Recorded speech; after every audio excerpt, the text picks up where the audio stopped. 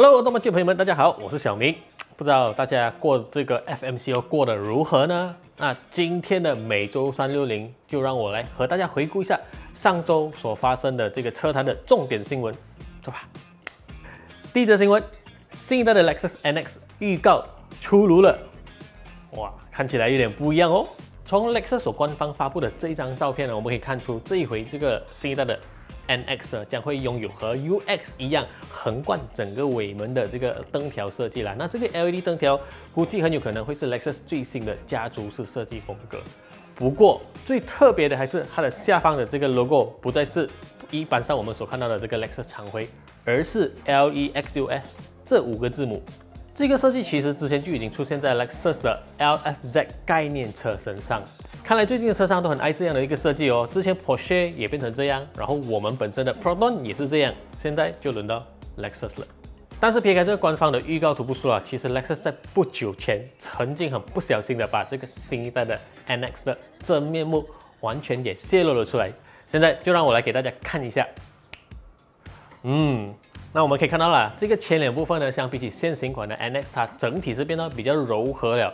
这头灯组不再有这个分离式的 LED 日行灯设计，不过还是可以看到这个招牌的纺锤是水箱护罩啦。你依旧看得出它是台雷克萨斯，只是整体看起来是比较成熟了。不过在车尾还有车侧后方这个部分呢，就整体还是比较 sharp 一点，还是有很多硬线条的设计，包括这个保险杆呢，整体也是比较运动化一点。加上这个漂亮的尾灯组，其实和我们以往所知道这个 Lexus 有点不太一样啦。你喜欢这样的车尾吗？在内装方面呢，其实这个新一代的 NX 也是有很大的改变。首先，我们就可以看到时下流行的全液晶数码化仪表盘，还有大尺寸的主机显示屏。然后我们再也看不到 Lexus 之前那个不怎么好用的 Remote Touch 主机滑鼠盘了啦。相信这一回原厂是直接使用这个 Touchscreen 啊触屏的设计，估计在 User Interface 还有整体的这个使用界面方面呢，会比之前的还要好用。然后我们也可以看到，这回它的这个方向盘呢，是使用了一个类似 Mercedes-Benz 的这个啊触摸板的这个设计了。相信在这方面，整体的这科技感会更加的好。那除了照片以外啊，神通广大的中国媒体这回也曝光了新一代 NX 的动力配置，一共有七种动力组合那么多。那从这个列表我们就可以看到了，有这个两百零三 horsepower 的二点五公升 NA，相信这一个应该就是这个 Dynamic Force 引擎。然后还有一个三百 horsepower 的涡轮版，两者都是搭配这个八速自排。哇，这个涡轮版我是蛮期待的啦。那除了汽油版以外，这个新一代的 MX 也会有高功率和低功率版本的 hybrid、PHEV 版本、三点五 V6 的 hybrid 以及纯电版。看来 Lexus 是很重视这一个新一代的 MX 效。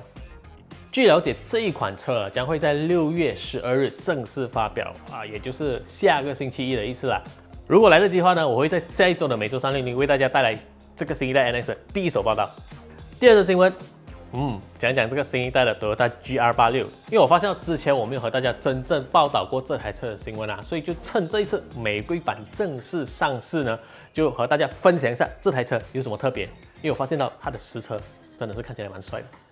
新一代的八六这一回就正式改名成 GR86，统一在这个 Gazoo Racing 运动车系之下了。它依旧和这 Subaru BRZ 是孪生兄弟的关系，那主要是因为其实这一台新车呢，它依旧是基于上一代的八六和 BRZ 的底盘打造，但是原厂有进行了很多很多的这个改进，包括导入了许多 Subaru 最新的这个 SGB Platform 平台的元素，也让这一台车的这个车体刚性呢提升了五十八千那么多。在外形上，这 GR86 是导入了不少 g a z o Racing 的元素，包括这个 GR 四样的前保险杆设计。我个人是觉得这个车头看起来是比这个新一代 BRZ 还要帅啦，你觉得呢？然后我们也可以看到这个和 GR Yaris 同款的十八寸轻量化轮圈，车门和上一代的这个八六还是一样啦，可是在这个侧裙还有后轮拱的方面呢，它是进行了 muscular 的这个线条处理，整体是看起来更加有张力了。不过对我来说最亮眼的地方还是在车尾这个超夸张的大型鸭嘴式尾翼了，这个就有点像它的这个大哥 GR Supra 了，但是我觉得它是比 Supra 还要帅啦。而在内装方面呢，这一回这个 GR 八六就告别了上一代车型那个比较简单、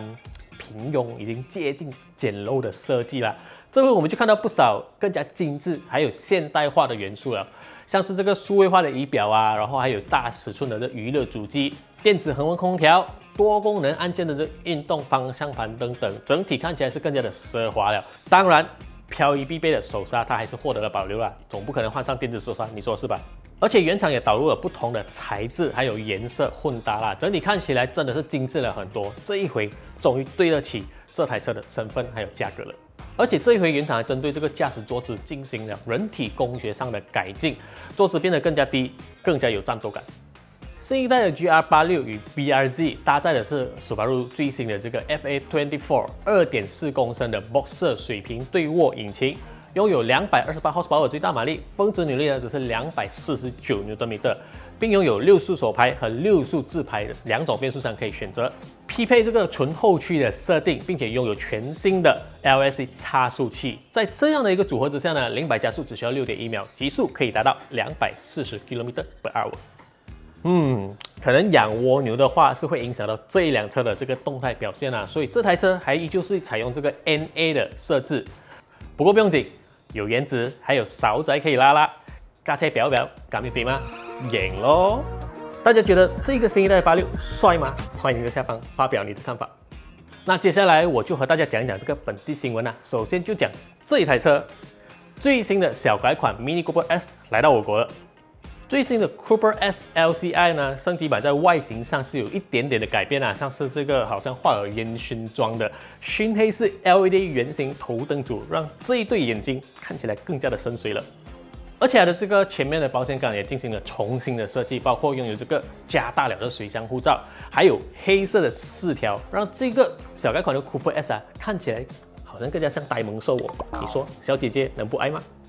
然后车尾部分同样也是可以看到这个四条都全部进行黑化处理，以及招牌的这个英国国旗尾灯，在夜晚里我谁都不认，就认你。那这回这个小改款的 Cooper S 啊，其实在车身配色方面也是变得更加的耀眼啊，什么水泥灰呀，然后还有这个非常亮眼的这个蓝色啊，整体看起来是更加的年轻化了，也是现今的一个潮流。而在内装部分，这个小改款的 Cooper S 呢也是有所改进了，包括导入了最新的冷气出风口设计。也更换了全新的这个全液晶数码仪表盘啊，所以看起来更加的有科技感。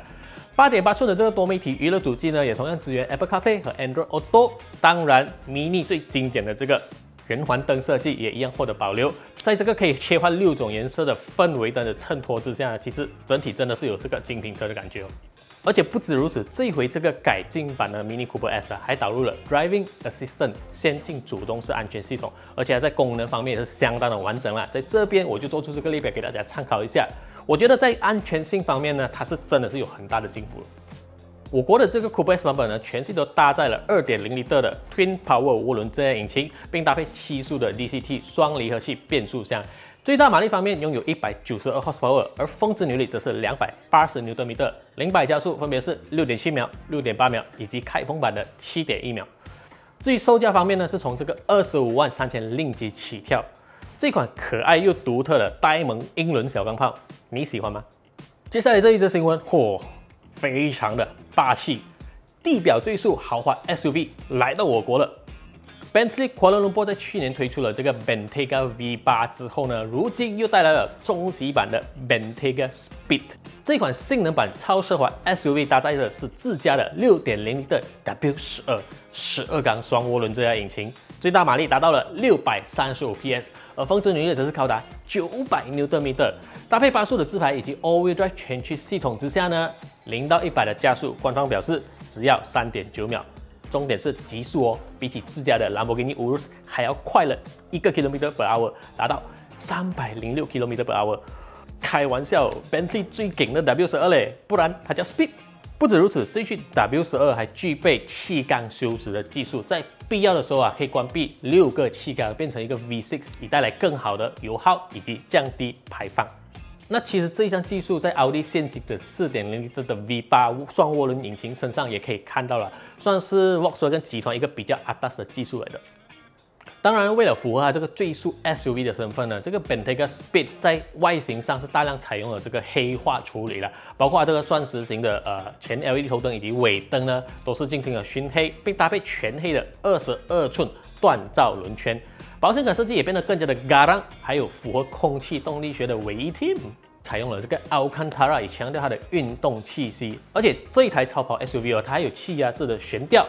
轻了二十公斤的刹车系统，你还可以选配碳陶瓷的这个刹车盘，这你受得了吗？当然，在价格方面呢，这台豪华的性能 SUV 自然是不便宜的。宾利耶，在税前方面，它是一个一百零六万左右啦，加了税以后，二点六八 million，一落发的朋友们，OK 啦，又跑得开去这个大场面，又有面子，而且还有这个五大最速 SUV 的名堂可以吹，好练一下，值得买啦。最后这新闻呢，就是温馨告诉大家一下，那就是早前政府正式宣布了 Permer Casa Plus，也就是强化援助配套 Plus 版本啊。那在这个总价值达到四百亿令吉的配套之下呢，也确认了我国汽车的这个 SST 豁免政策将会继续到今年的十二月三十一日。那这一项政策呢，就和之前一样啦，所以所有的这个 CKD 车款将可以享有一百八线的销售税豁免，至于 CBU 车型呢，只是可以获得五十八线的豁免。不过呢，商用车就不能享有这一项政策了，这当中就包括 Pickup Truck。那其实因为这个 SST 豁免是要你在拿到车注册以后，你才可以享有这个优惠。但是之前因为芯片短短缺，加上这个疫情爆发的关系了，很多朋友们都无法如期拿到车，都一直在等车，然后就很担心车会变贵啦。那随着这一项消息的推出，你们现在就可以放心继续等车了。Salesman 朋友们，你们也可以安心的睡个好觉了。好了，以上就是这一期每周三六零的所有内容，就不知道大家对刚才我所提到的这一些新车哪一款你觉得有感觉呢？我本身其实是蛮期待这个 GR 八六的到来的啦。还有就是这个 Mini Cooper，其实看起来越看越喜欢呢。你们喜欢哪一款车？记得在下方留言哦。然后喜欢这一期影片的话，记得不要忘记按赞，还有分享出去。当然最重要的是订阅我们的频道，还有按那个小铃铛啦，叮叮叮叮叮。OK，我们下一期的节目再见，大家继续乖乖待在家收看我们的影片吧，拜拜。